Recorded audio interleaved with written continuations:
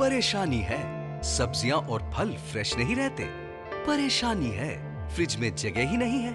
खाने की ताजगी खत्म। तो ले आइए जिप पाउच इसमें सब्ज़ियाँ और फल के पौष्टिक गुण रहे बरकरार। फ्रिज में स्टोर करना भी कितना आसान। गर्म करना हो तो सीधा माइक्रोवेव में डालें। खाना इसमें रहे घंटों फ्रेश। और इससे खाने की महक भी ना फैले। अब मुझे अपने हस्बैंड और बच्चों के टिफ़िन का कोई टेंशन नहीं। जिप पाउच लाइफ बनाए इजी